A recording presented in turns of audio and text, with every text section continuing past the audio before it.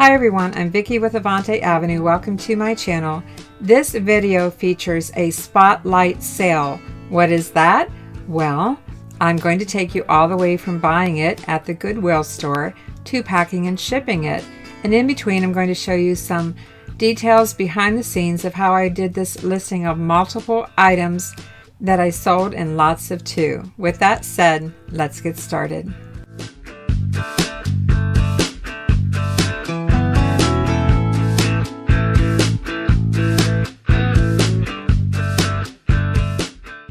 Although these cups were rather plain, I did recognize them as being restaurant ware, so I took a closer look. Didn't know anything about the brand Victor, but I decided to check some comps on eBay. The first sold comp showed they sold for $10 each plus shipping.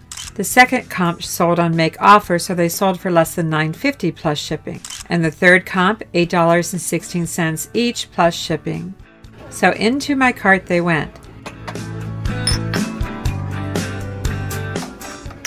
The label said 8 pieces for $3.99, but I actually got 9 cups because one wasn't marked, but it was with all the rest and they gave it to me.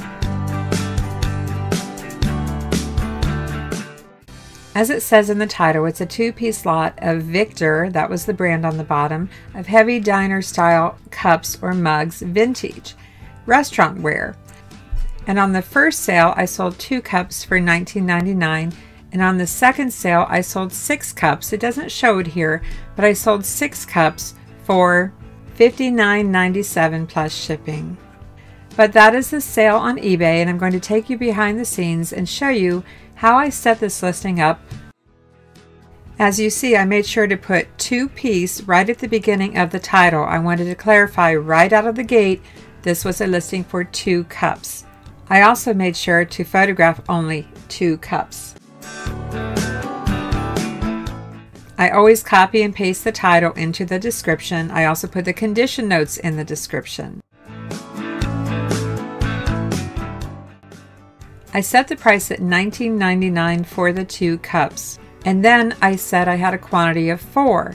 That meant I had four lots of two cups. And just a few other things, I always check mark the private listing and I always check mark require immediate payment with buy it now. One thing I didn't check in this listing is best offer. Although I take best offer on most everything I sell, let's talk about shipping. You want to make sure that you set up the shipping to cover the two cups that you're shipping in the lot or whatever that quantity is that you're shipping in a lot. In this case, I weighed the two cups and set this up as calculated shipping choosing regular priority mail, meaning I'm not using a flat box or flat rate. I chose regular priority.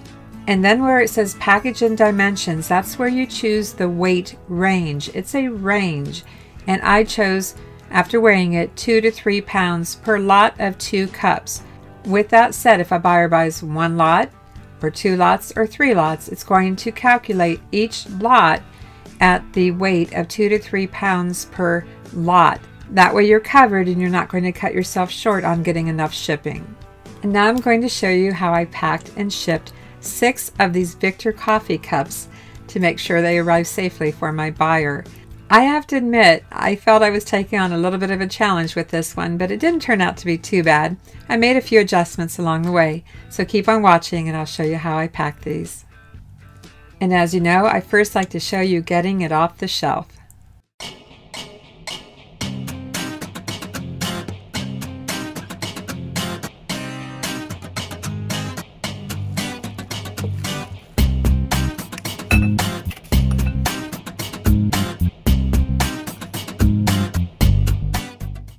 I only need six cups for this sale. Not sure what I'm going to do with the extra one, but I'll set it aside. Let's wrap each cup with some tissue paper, tucking it inside and just compressing it a little bit where the handle is. I'll show you why. I'm going to speed up a lot of these clips.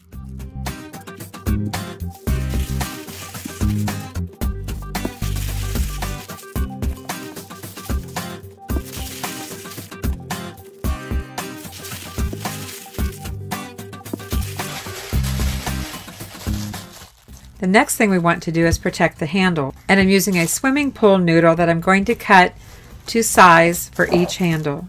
I make a little impression with my thumbnail and then I cut on that line. And I'm going to use this piece as my template to make all the rest.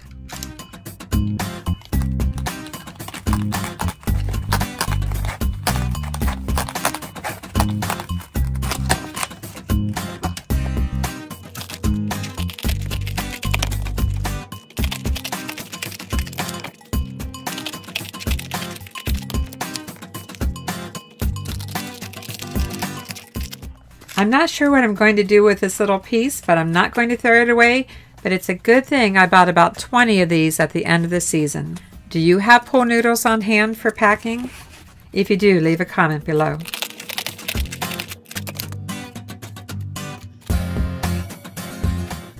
After all six are cut, we need to cut a little wedge out in each one, about three quarters of an inch, or whatever the width of your handle is. Let's check the fit Looks good. Let's cut the rest of them. And I'm going to speed this up.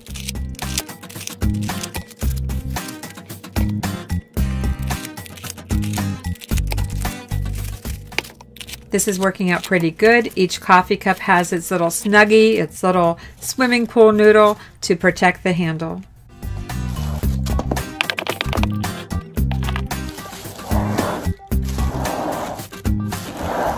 But they need more protection than just tissue paper. We're going to use six 12 by 12 inch squares of large half inch bubble wrap. That's what we're going to use to wrap each cup. And I use Scotch brand heavy duty shipping and packaging tape. That's my favorite.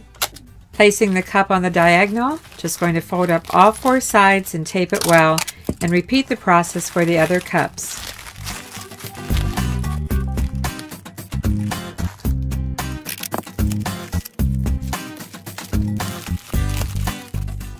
Now that they're all wrapped, we need to figure out what size box we need. So I gathered all six of them together and took a measurement.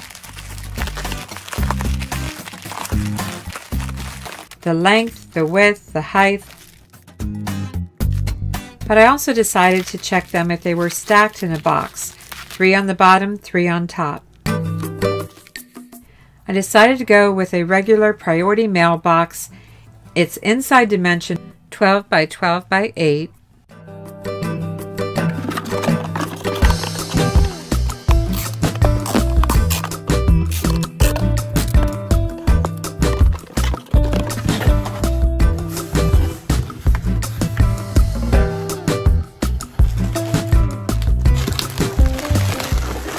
I do a little test fit and everything looks good, but we need some more filler. Styrofoam peanuts. It's a good thing they came in just in time for this sale. I was out of them.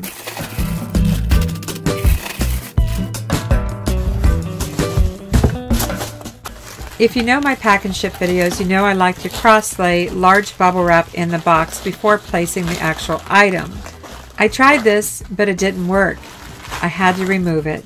I also tried with the handles on the outside edge of the box, the handles on the inside, alternating handles.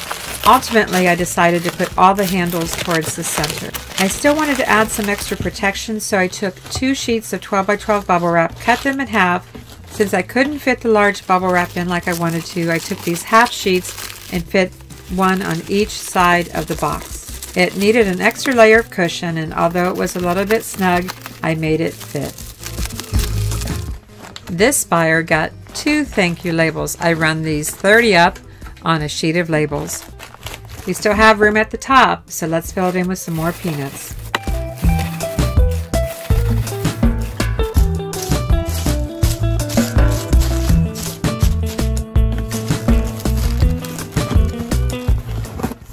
Everything's fitting good. Time to get the box closed up and taped.